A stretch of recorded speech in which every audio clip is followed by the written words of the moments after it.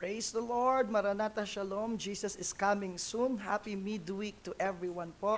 Happy Wednesday. Bago po tayo mag-start, knowing yung iba po ay nandito na po sa atin ng mga nanonood. And I know if you're excited right now na tayo po ay patuloy na sumambat makapakinig ng salita ng Diyos ngayong gabi, pwede po bang pakitype po natin sa ating comment section, Happy Midweek. Sign po na tayo po ay handa ng magpuri, sumamba sa ating Panginoon at magkaroon nitong gawain po natin ngayong gabi. Hallelujah. Sige po, let's just type to our comment section. Happy midweek habang ang iba po ay nagpapasukan na po ngayong gabi. Isa pong malamig, maulan na gabi po sa bawat buhay ng bawat isa. Again, happy midweek to everyone po. Let's type to our comment section this evening. Hallelujah. And I know that everybody is excited. Hallelujah. Lahat po tayo excited ng sambahin ng Panginoon at makapakinig ng salita ng ating Diyos na buhay tonight. So ngayong gabi po, let us just come and worship the Lord as we enter in His presence. Sama-sama po tayo magpuri sa ating Panginoon ngayong gabi. And as we, we, we welcome the presence of the Holy Spirit as we welcome the presence of our God. Sige po, sama-sama po tayong sumamba ngayon. Yes, hallelujah, we worship you, we exalt you, Jesus. And this night, God, patuloy po kaming nagpupugay, Nagpupuri sa iyong dakilang pangalan, knowing that you are here with us, God. We worship you in spirit. We worship you in truth tonight, God, and let your name be exalted. Let Jesus be magnified sa kalagitnaan po namin ngayong gabi. Lord, salamat po for those people who expect from you, those heart who's believing you, God. Alam po namin may maganda kang gagawin sa aming mga buhay ngayong gabi, O Diyos. Salamat po, pinupuri ka namin, niluluwalati, sinasamba dahil sinasamahan mo na po ang bawat buhay ng bawat isa sa amin, sa pagsamba namin sa iyo, pakikinig ng iyong salita at sa lahat ng aming gagawin. Ngayong gabi pong ito, purihin ng iyong dakilang pangalan sa iyo ang lahat ng katagumpayan sa pangalan ng aming Panginoong Jesus. Amen and amen and amen and amen. Hallelujah. Purihin po natin ang ating Panginoon sa gabi pong ito. I know that everybody is excited to worship the Lord tonight. But before we continue to honor and worship the Lord, let us read some verses in the Bible. I know some of you, you know this verse. Sabi po ng 1 Thessalonians chapter 5, verse 24, Faithful is He who calls you and He will do every promises He has made to each one of us. Tapat ang Diyos, God is faithful na tumawag po sa ating mga buhay. Hindi niya tayo papabayaan, hindi niya tayo iiwan. Sapagat ang Diyos natin ay tapat. Hindi siya nagbabago noon, ngayon at magpakailanman He is a faithful God. Kaya sa pagsamba po natin at pagpupuri po natin, let us just be reminded how faithful, how great, how wonderful is the Lord sa buhay po natin. Sige po, as we worship the Lord, pwede po bang itype po natin sa comment section, I have a faithful God. Pwede po bang itype natin sa comment section, I have a faithful God, at sama-sama po tayong magpuri sa ating Panginoon ngayong gabi. Hallelujah! Yeah. Bless you, Jesus. You are faithful, God. You are faithful, Jesus. As we say, give thanks to the Lord. Give thanks to the Lord, our God and King. His love endures forever. For he is good, is above all things. His love endures forever. Sing praise, sing praise. With a mighty hand and outstretched arms, His love endures forever. For the life that's been reborn his love endures forever. Sing praise, sing praise, sing praise, sing praise,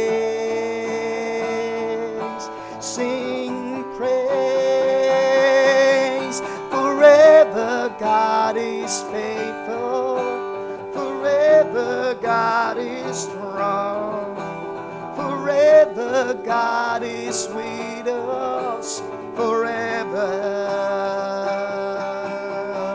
Forever God is faithful. Forever God is strong.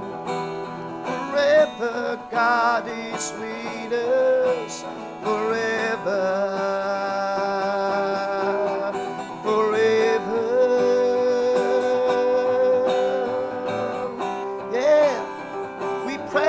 Faithful God. One more time we declare, give thanks to the Lord. Give thanks to the Lord, our God and King. His love endures forever. For he is good, is above all things. His love endures forever. Sing praise, sing praise with a mighty hand and outstretched arms. His love endures forever. For the life that's been reborn, His love endures forever.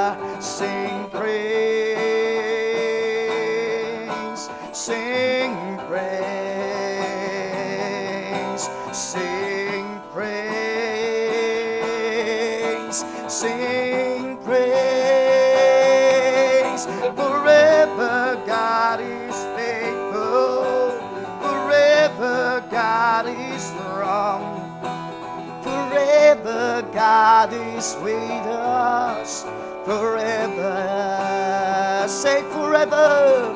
Forever God is faithful. Forever God is strong. Forever God is with us. Forever. Forever you are faithful. Forever God is faithful. Forever God is strong. Forever God is us. Forever. Let's sing the language of heaven. Hallelujah. Hallelujah. Hallelujah. Hallelujah. Hallelujah. Hallelujah. Hallelujah. Forever. Say hallelujah. Hallelujah. Hallelujah. Hallelujah. Hallelujah. Hallelujah. Hallelujah. Forever. Come on, lift your voice and say hallelujah. Hallelujah. Hallelujah. Hallelujah. Hallelujah. Hallelujah. Forever for the very last time. Hallelujah. Hallelujah. Hallelujah. Hallelujah. Hallelujah. Hallelujah. Forever. Forever God is faithful. Forever God is strong. Forever God is us. Forever. Forever God. Forever God is faithful. Forever God is strong. Forever God is with us. Forever.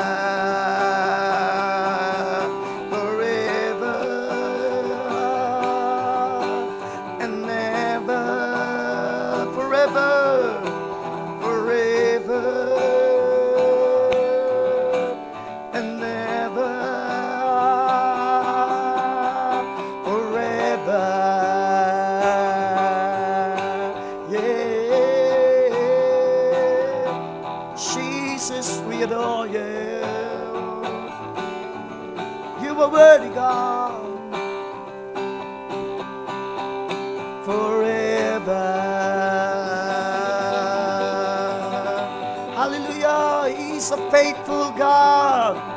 Forever He is God. Jesus, Jesus. You are worthy to be praised, worthy to be worshipped. Alam ko pong nagiinit pa lang po ang bawat buhay ng bawat isa sa atin. At nawa, pinapawisan din kayo tulad ko sa ating pagsamba. No, tonight, sige po, patuloy po tayong magpainit sa malamig na gabi as we continue to sing the language of heaven. Let's go! Hallelujah! Hallelujah! Hallelujah! Hallelujah! Hallelujah! Hallelujah! Forever! Hallelujah! Hallelujah! Hallelujah! Hallelujah! Hallelujah! Hallelujah! Forever! Let's say forever! Forever God is faithful. Forever God is strong. Forever God is with us. Forever with our hearts we say God. Forever God is faithful. Forever God is strong. Forever God is with us. Forever. Last time we say, Forever God is faithful. Forever God is strong. Forever God is with us. Forever. Forever. Yeah. He's a forever God, faithful God that we serve. Jesus. Hallelujah. Thank you, we thank you, Lord. Lord, you are a faithful God whom we serve. And tonight, we just want to come with a grateful hearts to you, to you, Jesus, and to your throne, God. Lord, sabi po ng 1 Corinthians 15.58, But thanks be to God who gives us the victory through our Lord Jesus Christ. Tonight, church, sa gabi pong ito, let us continue to remember what Jesus Christ has done in the cross of Calvary. Sa mga ganito pong pagkakataon, nawa po patuloy po nating maalala ang ginawa ng ating Panginoong Jesus sa ating mga buhay to the cross of Calvary. Jesus Christ redeems us. Through the cross of Calvary, He redeems us from all our iniquities and sins. Jesus Christ rescues rescue us from all shame and guilt na meron po tayo. And the Lord Jesus Christ heal us in every sicknesses, every wounds na meron po tayong lahat. Kaya sa gabi pong ito as we worship Him, God is faithful that He never changed. He's still doing what He has done to each one of us. You did not wait for me to draw near to you, but you clothed yourself in frail humanity. You did not wait for me to cry out to you, but you let me hear your voice calling me, cause I'm forever grateful to you. And I'm forever grateful for the cross, and I'm forever grateful to you that you came to seek and save the Lord.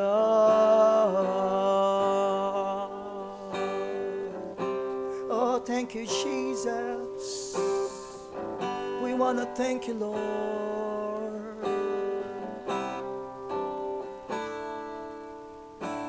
You did not wait for me to draw near to you, but you clothed yourself in frail humanity.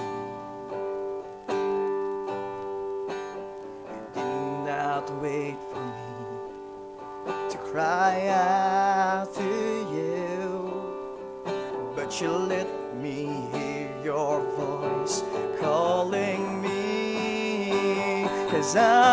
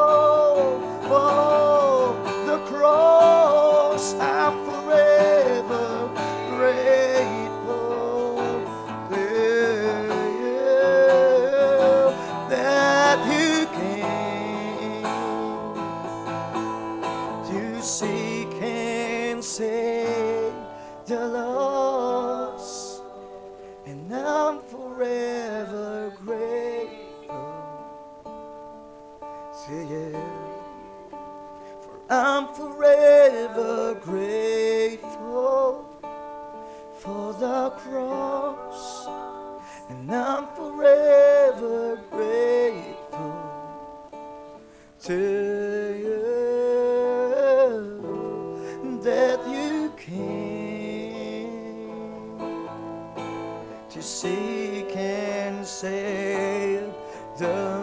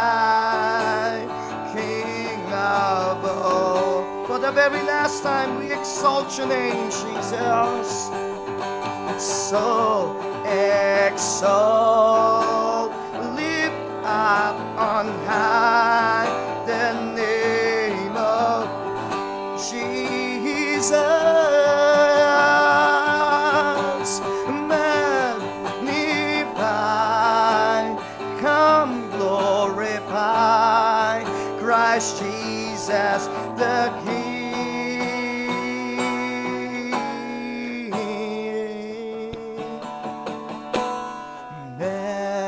Majesty, we worship your majesty. Jesus who died, now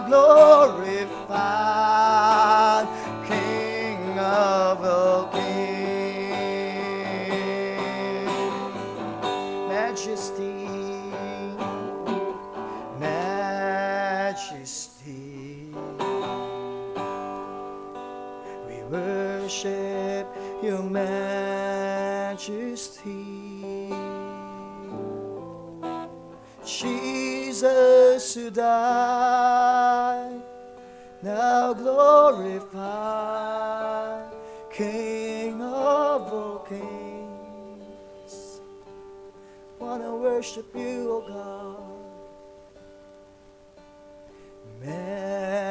Majesty. We worship your majesty.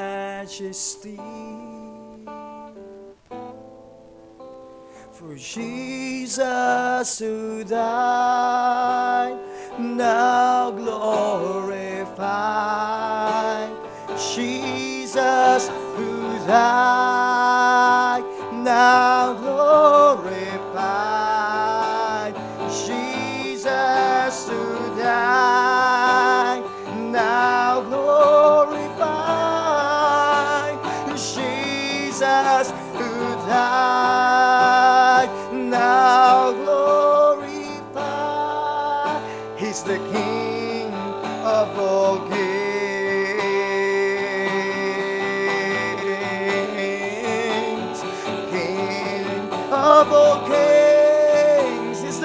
of. Jesus Christ, full of majesty, full of glory, is the King of kings.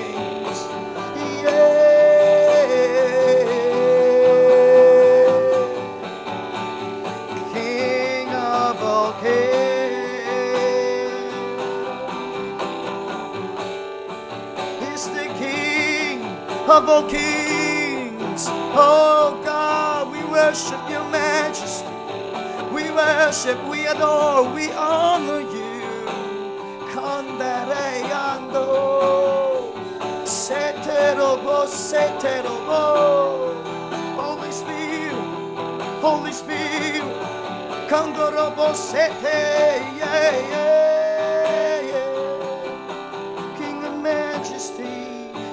glory, you are worthy. Oh my God, your presence is in this place. Oh King of glory, King of glory. Robo se te robo se. Yeah, yeah, yeah, yeah. Your presence, Lord, more than enough.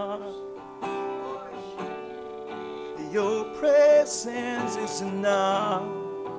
Oh, Holy Spirit, Holy Spirit of God. We respect and honor you tonight, Lord.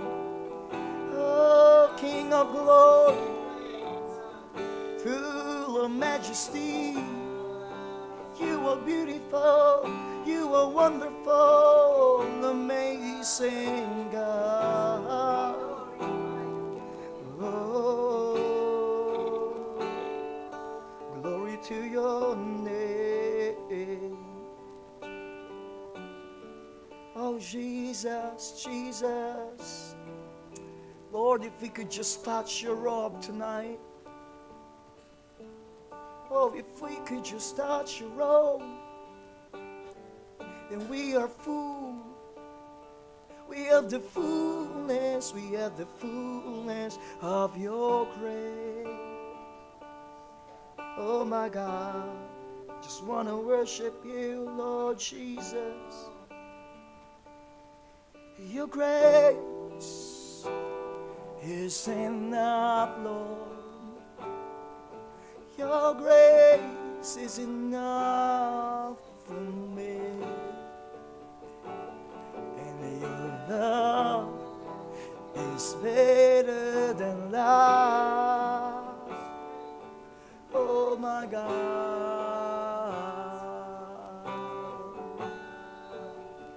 Miracles after miracles.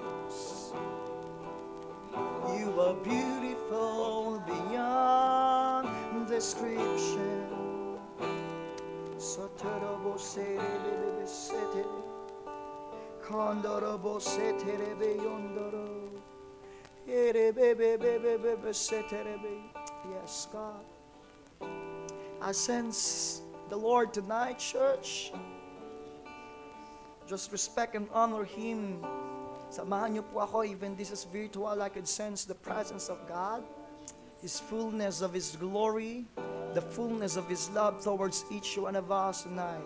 I could really sense as we worship and declare His majesty, marami na ang hinihipon ng Panginoon. I could really sense that the glory of God is moving in your life. Some of you, you are healed. Some of you, you are filled by the Spirit of the living God. Some of you, you cannot understand what you're feeling, but I believe that's the move of the Holy Spirit. Something in you, something within you, ang nag stirred up, and I know that's the move of the Holy Spirit as we worship Him tonight.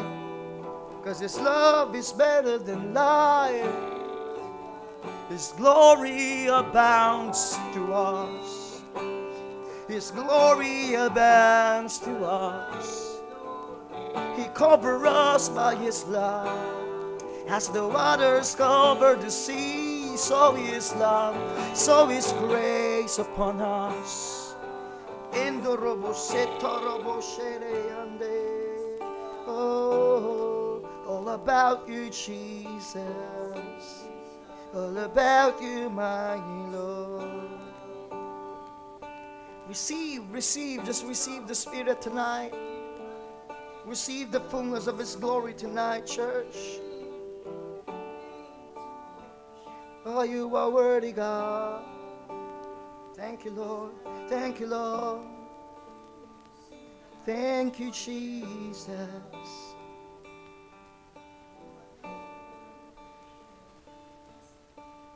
Majesty, we worship His Majesty.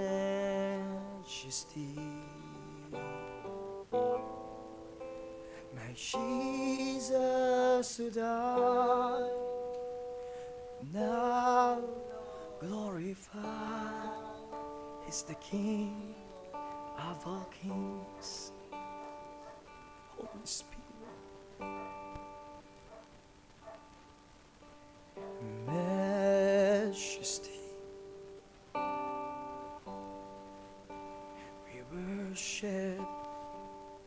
His Majesty.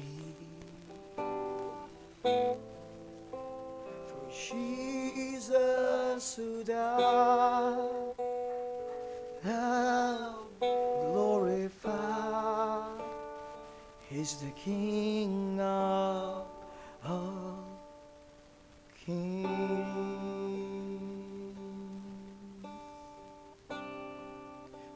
thank you, Lord Jesus. Panginoon, maraming maraming salamat po sa presensya mo sa gabing ito. Thank you for such glory that we are experiencing right now as we worship you. The majestic presence of you, Jesus Christ. Lord, walang sino man ang pwedeng magtanggi sa gabing ito that you are in our midst.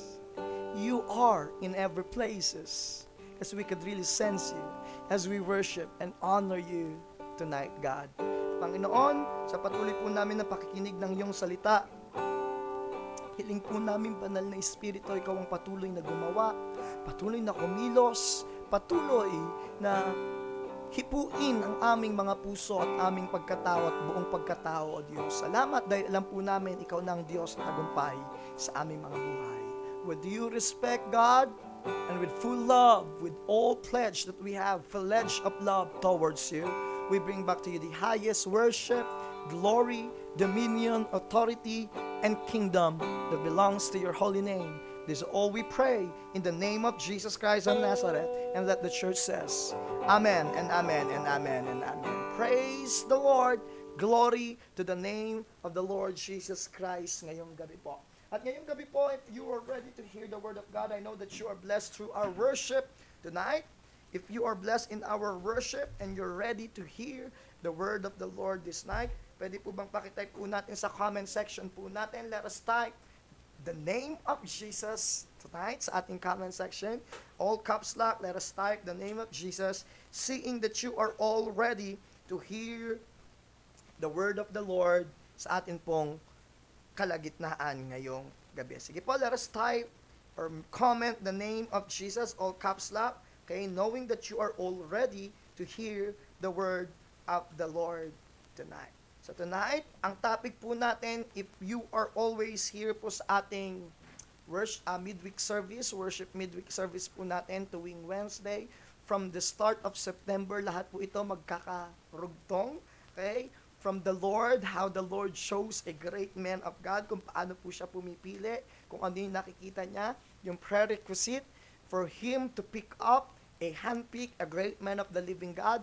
And last week po, pinag-usapan natin is about how the Lord, the strategic way, how the Lord develops a great man of the living God. So tonight, makikita po natin, through that develop, kasi po ito'y kasunod po ng ating teaching last week, na po, how the Lord develops, meron po siyang way, nakita po natin yan, and throughout all those ways, meron pa po siyang mga bagay, meron siyang mga tests, okay, na gagawin so that we are able to become a great man of God, to be a great force in this world. That's why tonight, ang topic po natin is pure as gold, the test of the man of God. Again, this will be our topic for tonight. Pure as gold, the test of the men of God. Last time, we talked about yung strategic way ng Lord, kung paano saan yung mga ways ng Panginoon ginagawa. Now, we can see, no, kung parang inilalagay tayo sa sa telescope, eh, no, sa microscopic, yung mga mas- microscopic move of the living God. From that strategic way, He's going to test us so that we will come forth as gold na po bilang mga lingkod ng ating Panginoong Heso Kristo. That's why na po, I believe that God is allowing all these things for us to be as gold, as pure as gold as He wants us to be. Para po tayo maging force in this world, we need to be pure as gold before the Lord. That's why, let us see the test of the men of God na po na binibigay o inaalaw ng Diyos ating mga buhay so that we are able to come forth as gold in the eyes of the living God. Kasi that's the truth po in this life. We have tests. Na po. Kaya, pansinin niyo po, see this, na po, before I deliver the word of the living God, because we believe, bago kasi tayo i-promote ng Panginoon, when God promotes us, when God wants us to be promoted, take note of this, as a great man of the living God, there will always be a test that needs to pass. Para rin po itong sa eskwelahan, kung gusto nating pumanik sa another level of our grades, we have to pass the test. All of those things na napag-aaralan po natin, there is always a test. May assessment kung meron po ba tayong natutunan. Same thing in our spiritual life. Before the Lord, before God will, no, before God will promote us as a great man of the living God, there will be a test that we need to pass. Kaya see this, guys, church, this is my reminder to every one of us. Don't test yourself. Kasi wala naman po tayong nakita sa eskwelahan kasi I have heard a lot of those people, young people in our church or even in outside the church, they test themselves. No, yung tipong nakalaya na sa mga kahinaan na, hindi kuya, ano eh, malaya na ako eh. Yung, for example, ang kahinaan ay ay paglalaro ng Mobile Legend. Hindi kuya, pinalaya, pinalaya na ako ng Panginoon sa Mobile Legend. Kaya mga isang oras, isang oras na lang para makita ko na tayo. Yan po, see? See the moving? Wait lang po. Okay. Let us pause for a moment because we're live. And alam nyo naman po, okay, wait lang po. we're really live tonight po. Okay. At alam nyo po kung bakit ganito po every Sunday, Wednesday, kasi syempre po meron po akong security guard eh. Na po maliban sa aking guardian angel, meron po akong security guard ditong dalawa. Na wherever, wherever kung saan man po ako pumunta, nandun sila. Kaya magtawanan lang po tayo. Pwede po bang, before I continue to deliver anything else, pwede po bang i-type natin, Hi Caleb?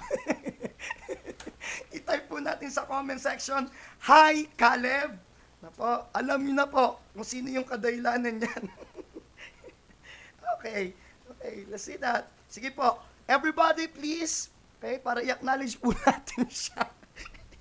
Talagang nagpaparamdam po siya every Wednesday, kaya may galaw po ng camera. Come on, type po natin sa comment section if you're still there po. Hi, Caleb, kasi si Caleb po yan. But anyway, kagaya po ng sinabi ko po kanina, let's go back as I saw your, your comment right now. Hi, Caleb po, sabi ko po kanina, Sam, yung iba tinitest nila yung sarili, sabi nila, malaya na sila dun sa paglalaro ng Mobile Legend, kaya minsan pag naglalapalipas oras na lang. Please guys, again, I want you to be reminded in every weaknesses, everything na meron po tayo, please don't test yourself. Kasi wala naman po tayong nakita sa loob ng eskwelahan na pag magtitest ka or final exam, yung estudyante mismo ang magbibigay ng exam para sa kanya. Hello? Andiyan po ba kayo? Wala pong ganon. Why? Because when we we want to level up, we want to, to graduate doon sa level na meron po tayo, it is our teacher, it is our professor will give us the test so that they can assess kung tayo po ba ay pwede nang mag-level up o mag-upgrade. Same thing in our spiritual life, same thing in our spiritual journey. Let God test us so that He can assess us na gusto niya na tayong when, when, when He wants us to be promoted, then let God test us. Let God yung Panginoon ang mag-test po sa atin, i-allow natin yung test ng Diyos sa bawat buhay po ng bawat isa sa atin. Kaya ngayong gabi, na po, this will be our topic tonight, knowing how the Lord handpicked each one of us, seeing kung paano yung strategic way ng ating Panginoon, and para mas lalo nating maintindihan at maunawaan kung nasa saan na po ang ating paglilingkod. Because all of us right now, to everyone who are watching right now, I'm not telling that I'm, I'm perfect na at nandun na po ako sa pinakapik ng tawag ko. I'm not saying that. Because all of us, there is a greater person inside of us. And the Lord really wants na malabas po yan, magising po sa atin yan, so that we are able to become a force in this world. And as we understand His Word, word, I mean, as we understand the truth of the Lord sa buhay po natin, the more we become pure as gold in the eyes of God. So let's go. Po, let's go. Let's understand first First Corinthians chapter 3 verse 13 says, sabi doon, each one's work will become clear. For the day will declare it because it will be revealed by fire. And the fire will test each one's work of what sort is what sort it is. So, ibig sabihin, meron po talagang test. Fire will come even to the things na gagawin po natin sa mundong ibabaw. Everything will be tested. And through the fire of the Lord, every works that we have will be revealed for the glory of the living God. Job 23 verse 10, it says, ang sabi doon, But he knows the way that I take. When he has tested me, I shall come forth as gold. Praise the Lord. And I pray that the Lord will continue to bless each one of us through the words. I believe the word of God has already blessed us, and I pray that it will move and touch each one of us tonight. So let's understand. So if you're going to see it po, na po through these verses and through the things na meron po tayo, God, take note of this, church, God is far concerned or the Lord's priority to us is to shape and build our character over the reasons of human boasting.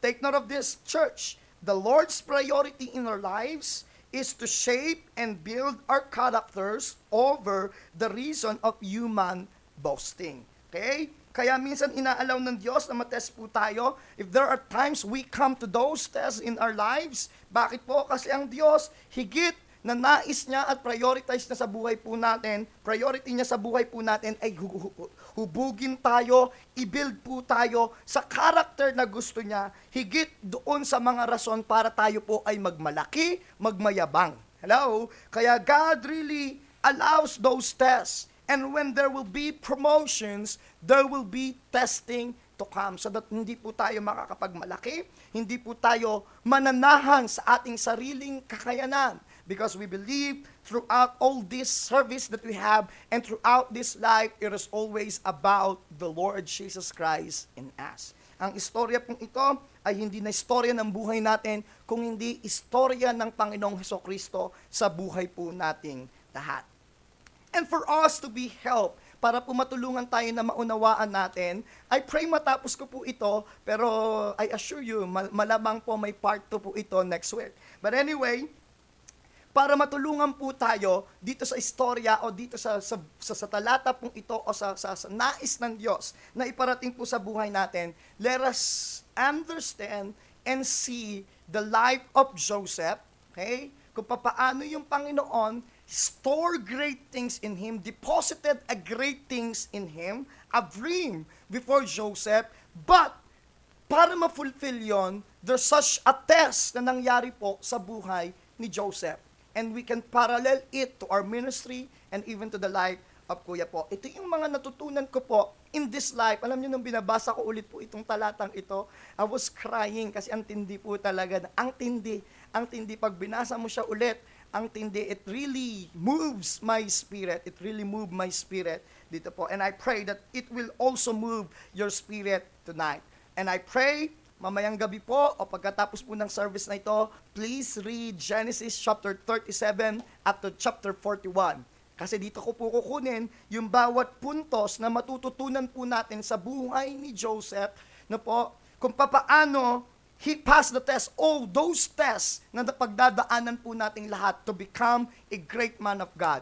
For the Lord to be fulfilled this promise to each one of us, there are tests that we need to pass there are tests na kailangan po natin na pagdaanan. Kailangan nating harapin. And Joseph, okay, si Joseph po, and even the great man of God in the Bible is not exempted. There's no exemption. Okay? There's no exemption in the test of the living God. People who exempt themselves to the test of the Lord, people who don't pass to the test, o hindi doon nagpu, nag, nag, nagtitake ng test ng Panginoon, they never level up or upgrade, develop their spiritual life. Yun yung nakakalungkot. Kaya, papansinin nyo, wag po tayong magtataka kung bakit sa loob ng church, minsan marami nang matatagal, ganun pa rin yung buhay nila. Hello? Hello? Walang spiritual development, walang spiritual uh, uh, uh, tawag dito, spiritual progress na nangyayari sa kanila. No, why? Because they don't want to pass the test, they don't want to take the test na po na ipinaan na allow ng Diyos sa buhay natin. But us, for those people who are hearing me right now, for those people who hears me tonight, who hears the word of the Lord tonight, na po, please, let's go together, pass this test, face this test, so that God will continue to fulfill His promise to each one of us. You are destined for a great things. Come on, church. Again, you are destined for great things. Pwede po bang type po natin sa comment section po natin, we are destined for great things. Okay? Let's see the life. This is the story of Joseph. In chapter 37, Genesis chapter 37 verse 13, this is the test, okay, na una pong tinake ni Joseph, the first test that Joseph, okay, na pinagdaanan po niya when he received, when God gave him the, the, the, the the dreams, the first test that I saw, okay, Genesis 37 verse 13 is the test of service. Okay? The test of service. Okay? Genesis 37 verse 13 says, sabi doon, And Israel said to Joseph, ito yung tatay niya, si Jacob, Israel said to Joseph, Are you not brothers feeding the flock in Shechem? Come, I will send you to them. So he said to him, Here I am. Okay? So sa pagkakataon pong ito, sa verse 13, si Joseph po ay inuutusan ng kanyang tatay para magbigay, mag-feed doon sa kanyang mga brothers. Okay? To feed his brothers. So yan. Again, the first service that Joseph takes is the service, I mean the test of service. Okay? First, God wants us to see, if you're going to see it, kailangan po maglingkod muna po tayo. Dapat pasahan natin ang paglilingkod. Maglingkod tayo. We need to become a servant of the Lord. If we want to become a force, we need to be a servant. God wants us to see okay, that we can be trusted in service before we are to lead. Litin ko po ito. Napakalitindi po nito. Okay? First, God wants us to see, okay, to be trusted in our service, okay, before we are to lead. Bago ka mag-desire na maging tagapanguna, you have to be a servant. Hello, are you there, church? And Joseph, take that test in verse 13. Inutusan siya ng tatay niya, obeying his father's request and command. Okay? So makikita nyo doon, even though Joseph knows that there is a greatness within him, but yet he obey his father's request and commandments. Marami po sa loob sa atin, no, maraming mga Kristiyano minsan when they know the the the the, the, the greatness in them kapag ka na, na, na lay hands na po at lagi napapansin, no? Ang bilis lumaki ng ulo. But again, if you really want to become a force in this world, if you really want to become a great man of the living God, need to pass the test of service because our service is the gateway for our greatness.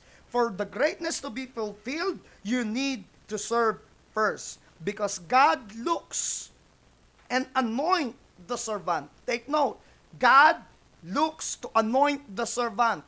God never looks for an artista para para para i-anoint. Hello? God never looks para sa mga uh, madadrama o sa mga king, sa mga mga divas. Hello? Marami kasi sa loob ng church mga artistahin. Hello? Po, marami sa loob ng church, diva. Hello? But God looks to anoint the servant. Again, God never fulfill His promise to each one of us para sa sarili po natin. No, it's not. God is fulfilling every promise sa buhay po natin. Bakit? Kasi He wants to elevate His words. Take note of that, church. Bakit na pangyayari yung mga mga pangako ng Diyos sa buhay natin? Bakit na fulfill yung mga pangako, yung mga prophecy, yung mga words na narinig po natin sa buhay natin? It is all because the Lord wants to elevate His Word. Patunayan na yung salita niya totoo. At sa mga pagkakataon pong yon, the best response that we could ever have in our lives is to serve God and to serve people of the Lord. Because God looks for a man who is looking I mean, God looks for a man who is serving in the ministry, serving in their everyday life, and others around them through love and compassion.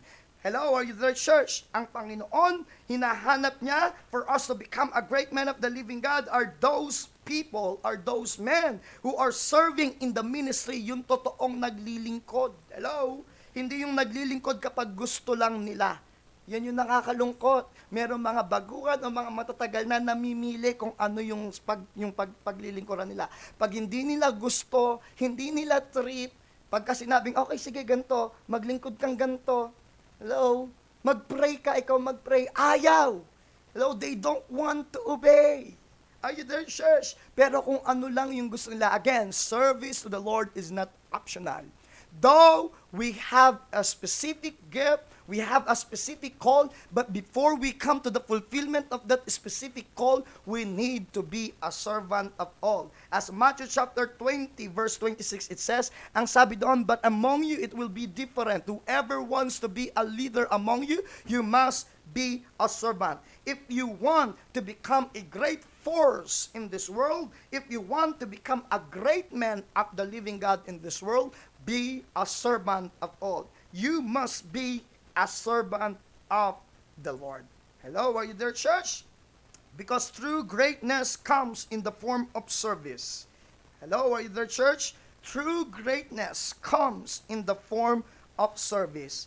Though Joseph knows that there is a greatness within him, he still obey his father and do his everyday practicals. Ulitin ko po ulit. Kahit alam na ni Joseph na merong greatness sa kanya, pero yet, every day, na po, ginagawa pa rin niya kung ano yung dapat niyang gawin. He become a servant. And that's what I learned. Ito po yung pinaka masaya. Kagaya na sinabi ko last Sunday, I don't want na ma-impure yung puso po natin as, as a servant of God. Ayoko maging impure yung puso ko po. I want my heart to become pure. I'm here to serve God and to serve the people as much as I can. Hanggat kaya po natin na maglingkod, saan man po tayo ilagay, pagka sinabing uh, mag, magpastor, mag-preach ng gospel, yes, I can do it. With enthusiasm, love, and passion that I have to the Lord, I will do it. Pagka sinabing maglinis ng church, yes, still the same intensity, the same love that I give to preaching is the same intensity that I'm going to do doon sa paglilinis. Are, are you there, church? Dapat ganun po tayo. Walang pinipili. When we serve the Lord, dapat we are always serving Him truthfully because true greatness comes in the form Okay? True greatness comes in the form of service. Our true service will never be waste of time. Yun yung pinakamasaya po dito. True service, if we pass this test, our true service will never be a waste of time. Because God always notice our service to Him. Kapag totoo ang paglilingkod mo, kapatid, hindi nasasayang ang ginagawa mo sa Panginoon. Sapagkat ito'y nanonotice ng Diyos. Yes, you cannot be noticed by people. You cannot be noticed by people's authority or authority na meron na ibinigay ang Diyos sa atin. Maaaring hindi tayo napapansin, pero maniwala ka, church. Come on, guys. Believe it. When you serve the Lord, when you are serving truthfully to the Lord, when you are doing everything for God. Hindi ito kawalan. This is not a waste of time because the Lord notice your service to Him. Hello? Nakikita at napapansin yon ng Panginoon. No? In my part, siguro po, one thing that I could really share to you this, na po, di man tayo mapansin ng tao, basta pag naglingkod ka, ang pinakamasaya po nito, you become a better version of you. And the way you become a better version of you, naniniwala po ako, you become a great blessing to others. Hello? Sometimes you don't need to speak.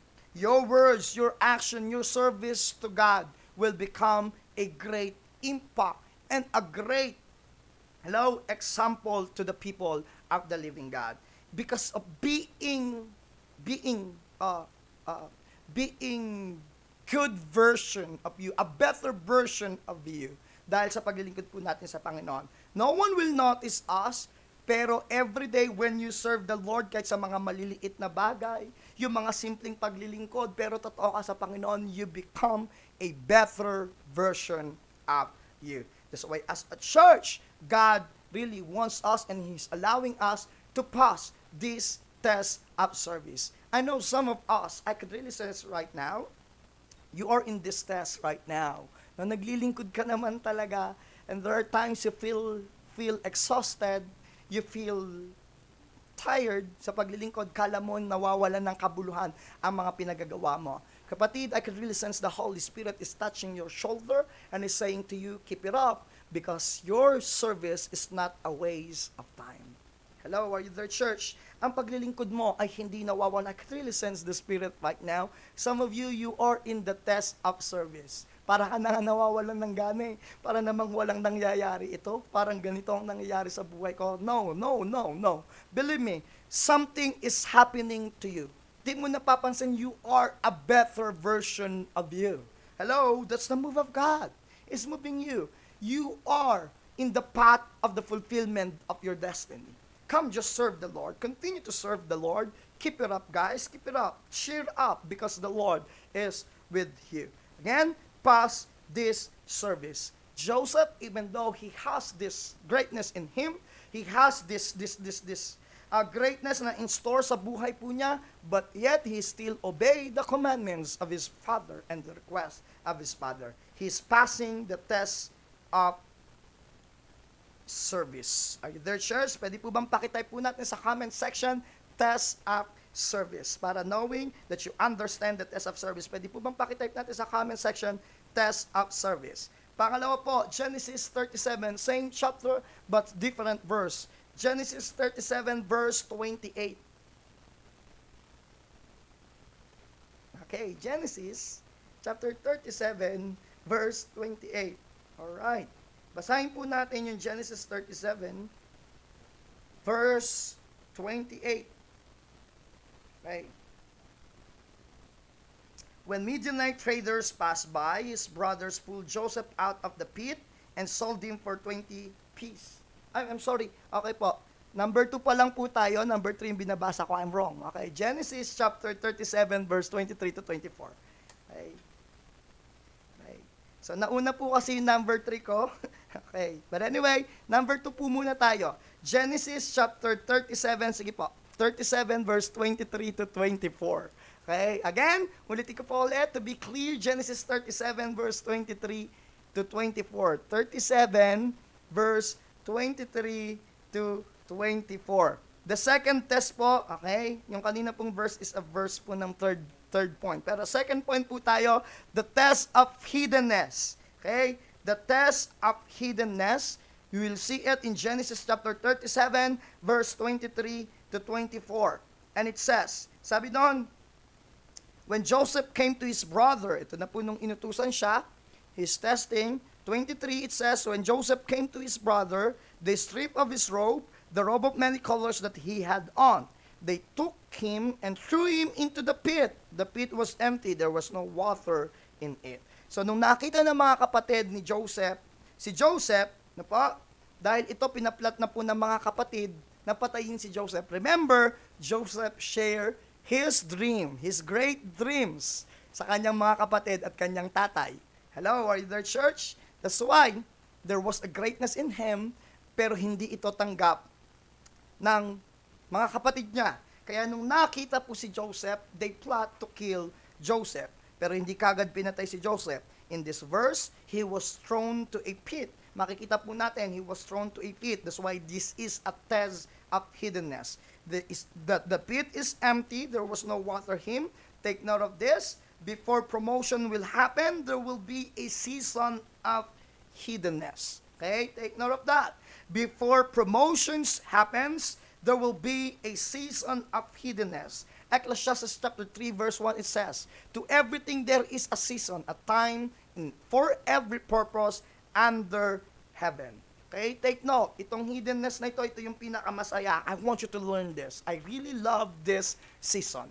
Ano po, I really love this test. Sobrang love ko po itong test na ito, the test of hiddenness. Dahil mamaya papaliwanag ko po sa inyo. Okay? At first, na po, take note of this, at first, God hide us to protect us.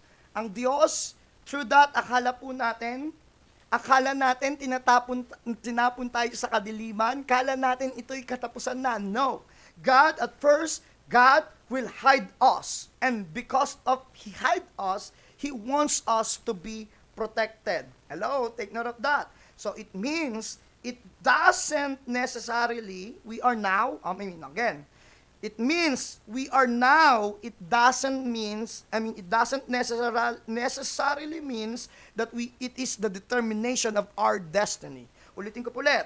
We are now, kung nasan man tayo ngayon, we, where we are now, I mean, where we are now, it doesn't necessarily determine our destiny. Take note of that. Because first, God wants us to be to hide and to be protected.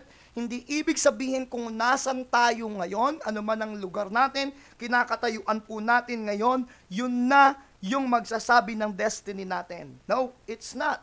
Because at first, God really wants us to be hide. God really wants us to be protected sa lahat na mangyayari sa atin. Take note of this. Even people who are against us will stop us. Take note of that.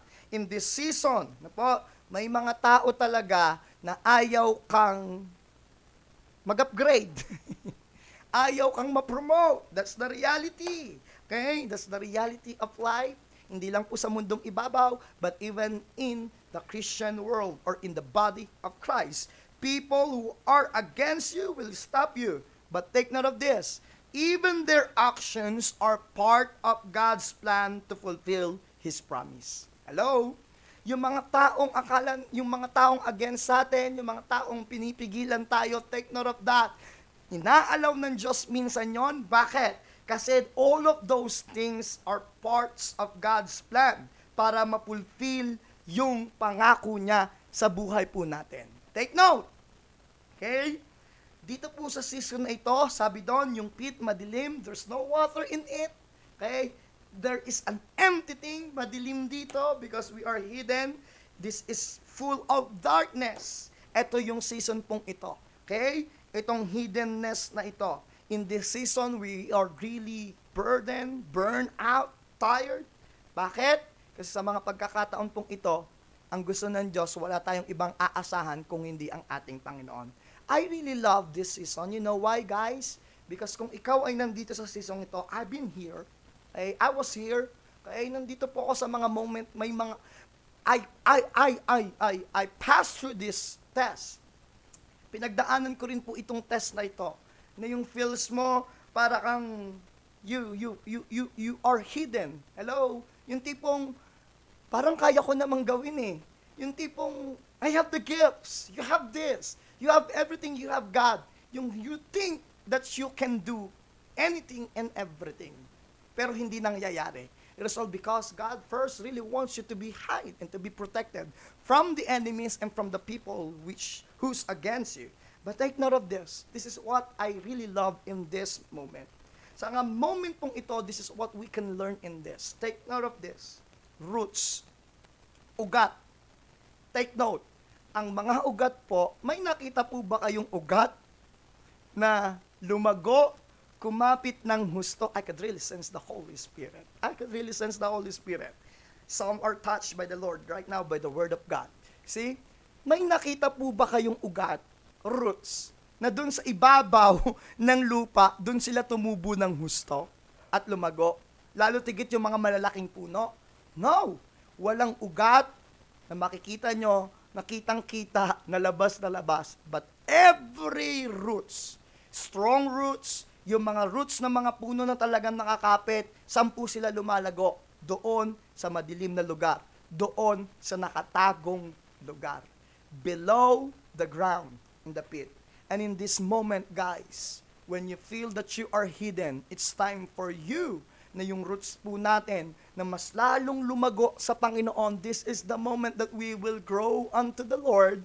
This is the moment nakakapit tayo. Bakit? Kasi habang tumataba, habang lumalaki ang ugat, habang lumalalim ang ugat sa ilalim ng lupa, the more na kumakapit ito. And the more na malaki, matatag ang ugat, the more na mas matindi ang kapit ng ugat, anumang bagyo, anuman ang gawin dun sa nakatayong puno, then I'll tell you, hindi ito magagalaw. Bakit? Because the root tells kung gaano kalaki ang magiging puno mo. The roots will tell kung gaano tatagal yung puno natin, kung gaano magtatagal yung puno natin. The roots will tell kung paano mamumunga, kung gaano kalaki yung measure na magiging puno natin. That's why, guys, when you are hidden, when you feel that you are hidden today, feels na pakaramdam mo, kaya ko naman to, ganto, ganto, pero hindi nangyayari. It's time for you to grow in the Lord. It's time for you na kumapit ng gusto sa ating Panginoon. And when the moment,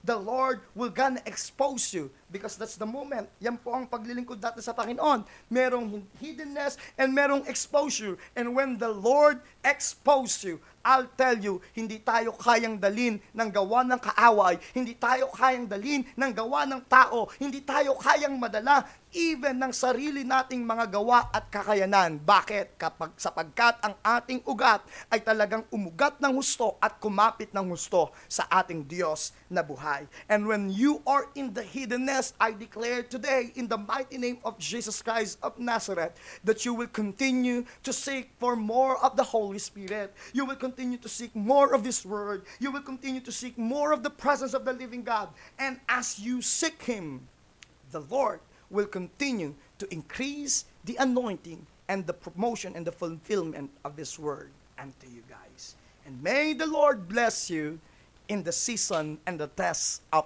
hiddenness in our lives. Take note, in this season, our motives will be tested. In this season, our motives will be tested. If we can serve the Lord in hiddenness, wala nakakakita sa atin, kahit pakiramdam na natin ay kaya naman natin, na po, then we can serve Him in influence. If we can serve Him in hiddenness, church, then we can serve God in influence. That's why in this season, our motive will be tested. Come on, church. Kaya sa dalangin ko po na patuloy yung motibo po natin ay patuloy na maging puro sa paglilingkod sa ating Panginoon. Because God is bringing us in another dimension of influence for the glory of the living God. Pwede po bang itype po natin sa comment section, test of hiddenness. Hello? Are you there, church? Kindly type po to our comment section, test of hiddenness. Kaya wag pong magmadali, guys. Church, I know some of you, every one of us has a greatness inside of us. Wag magmadali. God is at work upon each one of us. God knows the perfect timing. God knows exactly kung kailan tayo i-expose ng Panginoon. And when the Lord expose us, I pray that we really learn so much in Him sa moment po ng time of hiddenness or the test of hiddenness. Pwede po bang type natin sa comment section, test of hiddenness. Then the last thing, okay, last po ngayong gabi because it's a time. Okay? Okay, the third one. Okay, I'll try to finish this po, pero I think kasi ang haba po nito, medyo pito po ito eh. Okay? The third one is the test of discouragement. Take note, after the test of hiddenness, Joseph needs to pass also, kailangan niyang pagdaaran din po yung test of discouragement. And every one of us, I know some of us, is in this part we can be discouraged anytime or every moment. Pwede po yan mangyari. And God allows those things. Genesis 37 verse 28. The Midianite traders passed by, so the brothers pulled Joseph and lifted him up of the pit and sold him to the Ishmaelites for 20 shekels of silver, and they took Joseph to Egypt. Ang saya, di ba? Akala ni Joseph, pagkuha po sa kanya sa pit, no, no, nung inilabas na siya, akala niya exposed na siya, no, akala niya yun na eh. Ito na yun. Nakalaya na siya dun sa moment of hiddenness. But take note of this. After he brings out by his brother doon sa sa pit, he was sold to be a slave. Ang saya, di ba? May yung pakiramdam, iniulog ka, itinago ka na. Pagkatapos kang iulog, itago. Pagkatapos nang ibibenta ka, that's why the third one is the test of discouragement. You can really sense, you can really feel Joseph. Okay? Nararamdaman mo yung feels ni Joseph. He was sold to become a slave to Egypt. So Ismailites, binenta po siya, and they went to Egypt, and he become a slave there. In this, in this discouragement, the test of discouragement, discouragement there are times we feel like quitting and betrayal are present. In this test, quitting and betrayal are present. Hello, pakiramdam mo gusto mo nang umayaw. Pakiramdam mo you are betrayed. Hello, you are discouraged. Yan yung discouragement. Take note, guys, it will only hurt us when we are betrayed by least expected. Yung mga hindi mo ine-expect na yung magbibitray sa'yo, doon ka lang masasaktan ng gusto. Hello, are you there, church? Doon ka madi-discourage. Yung mga taong ine-expect mo, supposed to be, dapat susuportahan ka.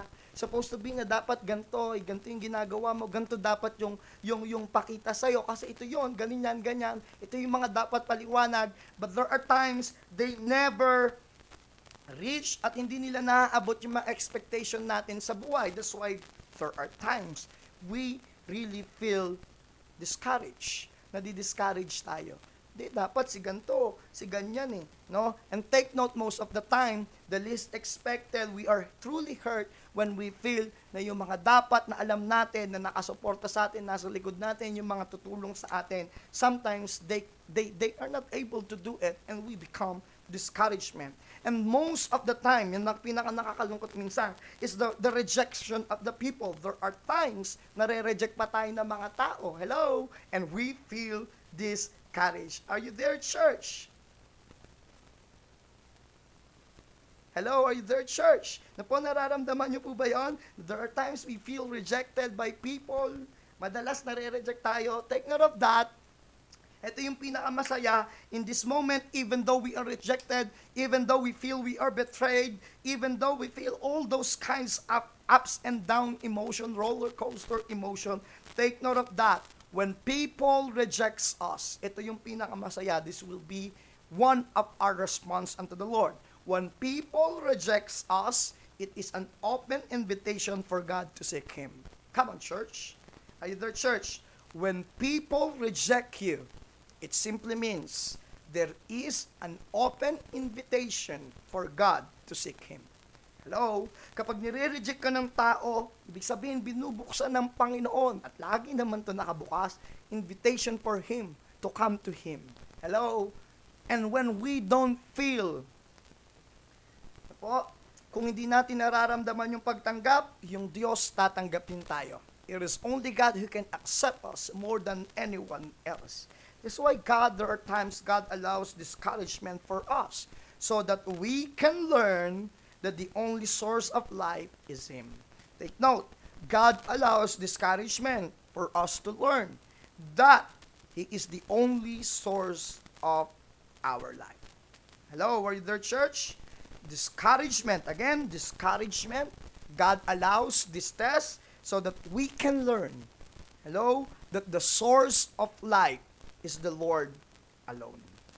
In testing, sa mga test na meron po tayo, the test of discouragement, the test of hiddenness, the test of the test of, of, of service, all of those testings, testings are not for us to become mahirapan, okay? Hindi po tayo pinapahirapan. Testing doesn't make us mahirapan.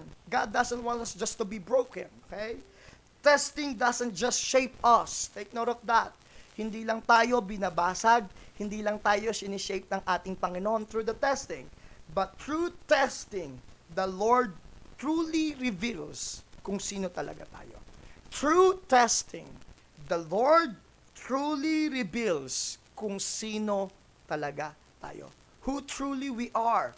Yun yung pinaka-purpose why the Lord tests each one of us. When we are in the test of discouragement, we are in the test of hiddenness, we are in the test of service, ang totoo, hindi lang tayo gusto pahirapan, hindi yon hindi yung purpose ng Panginoon, hindi niya tayo gustong mapahirapan lang hindi niya gusto lang i-shape yung buhay natin. That's one of our, his priority, but it doesn't mean. Pero the real, true reason why the Lord He allows testing in our lives para ma-reveal ng gusto tayo. Ma-reveal kung sino talaga tayo sa harapan ng ating Panginoon. Because that's the truth in life, even in school. Makikita mo talaga kung sino talaga yung may alam at natuto. No? doon lamang sa test. Kasi kung ano yung magiging resulta ng test natin, that will be, no po, that will be who we are, yun talaga yon Kasi yun yung alam natin, yun yung natutunan po nating lahat. Hello, you there, church? That's why God allows all these tests so that we can be pure, pure, we can be pure before the Lord. Pinupuro tayo ng ating Panginoon hanggang sa muli niyang pagbabalik. Kaya dalangin ko po sa bawat nararanasan natin ngayon, I pray that you will continue to become true unto the Lord. Just allow the Lord. I have four tests pa po, pero I think hindi na po natin ito matatapos ngayong gabi. No? And if you are blessed, because it is already time, I try my best to finish this. No po, maybe next week tapusin po natin ito. I've got four tests. But again, please read it to your home. No po, yung Genesis chapter 37 up to Genesis chapter 41 para po mauunawaan po natin yung mga pinag-uusapan po natin ngayong gabi. But tonight, let us end this to these three tests po. Again, the test of service, just for a recap. The test of service, okay? The test of service, God wants us to see. To see us that we can be trusted in our service before we are to lead. Ibig sabihin, doing everyday practical life that we have. Test of hiddenness, a test of our motives. Yan po yung recap. If we can obey in hidden, then we can serve in influence. Test of discouragement. Okay? This is the moment that we are not going to quit but keep moving even in the time of heartaches, pains, and suffering. Ang ganda po niyan. Test of discouragement. Again, I'll, I'll, I'll repeat it. Test of discouragement. This is the moment not to quit, but to keep moving, even in the time of heartaches, pains, and suffering. And I pray tonight that God will continue to reveal Himself through His mighty words. We will finish this po next week and I hope that you will be there kasi meron pa po tayong fourth test na God allows in our lives so that we will become pure as gold sa paglilingkod natin sa ating Panginoon. And I hope and I pray that you are blessed through the word of the living God. Let us come and worship the Lord tonight as we pray. I know some of you, maaring yung iba po sa inyo, yan yung pinagdaraanan, you are hidden. Uh, let's just sing this song and just tell it to the Lord. Before we end, uh, sa gabi pong ito, let's just sing this song because I know some of you, maring yung iba po sa inyo, God is uplifting you today. Hindi ko po alam yung nararanasan nyo, hindi ko po alam yung pinagdaraanan nyo, but one thing I'm sure, I could really sense that the Lord is uplifting you. God, the church is empowered tonight by His Word. Kaya sa gabi pong ito, dalangin ko na patuloy, na tayo po'y magpatuloy at maglingkod sa ating Panginoon. So sing, Huwag kang bibigay, aayaw magsasawa. Huwag kang mapapagod, lalayo manghihina. Gagamitin ka pa ng Diyos. Mahal ka niyang lubos. Huwag kang bibigay. Aayaw magsasawa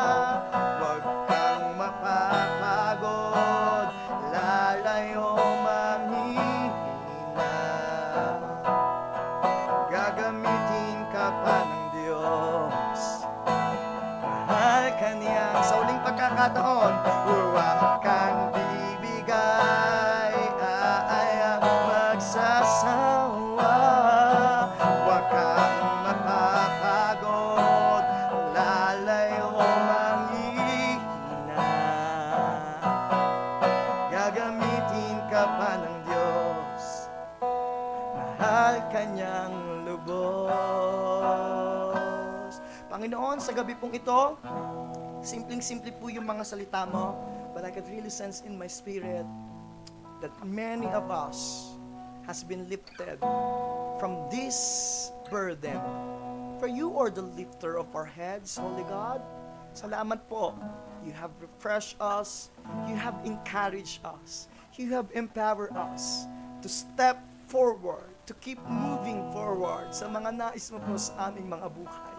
Purihin ka, Panginoon, dahil naniniwala po kami, damang-dama po namin, ramdam na ramdam po namin sa kaloob-looban po namin na hindi ka nagkamali sa pagkakatawag mo po sa amin. Hindi ka nagkamali sa bawat araw na ginagawa po namin sa paglilingkod namin sa iyo. At ikaw yung Diyos na tapat sa aming mga buhay. Tonight, we honor you, Jesus Christ, for your mighty move. Tonight, we honor you and respect you, God, for your mighty words that is really food upon our hearts and upon our spirit. Salamat po, Panginoon. Salamat po, God. I could really sense those tears are tears of joy. Okay? Yung mga luha na pumapatak po that I see in right now is a tear of affirmation of the Lord. Yes, God affirms you. Yes, the Lord affirms you. Thank you, Holy Spirit. Salamat po, Panginoon. We honor you, we worship you, and we respect you tonight. We give you glory, we give you worship. In Jesus' name, amen and amen and amen and amen. To God be the glory po. Hallelujah. Let's just keep serving the Lord. At sa gabi pong ito, yes, I can really sense the mighty move of the Holy Spirit sa mga nanonood po. Yung pigilan yung sarili niyo po. That's the mighty move of the living God. I saw some tears falls into your eyes and that is a tears. Hindi yan luha ng lungkot, but it is a tears of affirmation. You could really sense tonight that God really affirms you. But anyway, I know that you are all blessed. Let us bring back the glory unto the Lord. Sama-sama po natin itaas ang ating mga kamay. And let us all shout, all glory, all honor, all power, all praises, all worship, and all thanksgiving belongs to Jesus Christ. And everybody says, Amen and amen and amen. God bless you, everyone. Happy New Year and Merry Christmas in advance. To God be the glory. Please follow us in our socials, social media account. See this.